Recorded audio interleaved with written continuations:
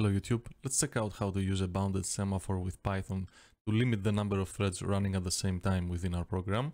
I'm going to import threading. And for this example, I'm also going to need the sleep function from the time library. And let's define some func, some function, so we can uh, test this. And we're just gonna need an ID as an argument here.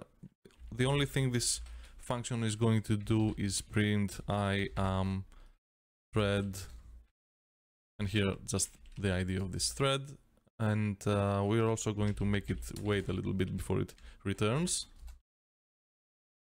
Okay great and uh, now let's start a, a, loop for i in uh, range 0 to 10 we're gonna start 10 threads of this function the target will be some come on give it to me. Okay some func. and the arguments is just going to be i. And we're gonna start every thread immediately. And let's run this and see what's gonna happen without a semaphore. Okay every thread started immediately and every thread is waiting for five seconds almost at the same time. And now the program is finished after five seconds so let's now include our limiter. I'm going to define it here. It's going to be a bounded semaphore from the uh, threading library. We need to give a limit of threads that we want to have at the same time. Let's say three. And now we need to edit our threaded function. And I'm just going to add at the very beginning, uh, I'm going to access this object that is a global variable, let's say uh, and I'm going to acquire a lock, one of these three locks, let's let's call it like that. And before it returns, I'm I'm also going to release this lock. Uh, release. And now if I execute this, you will see that only three threads will start. And uh, after this lifespan, let's say five seconds finishes, the next three threads will begin. And after five seconds, the, the next three.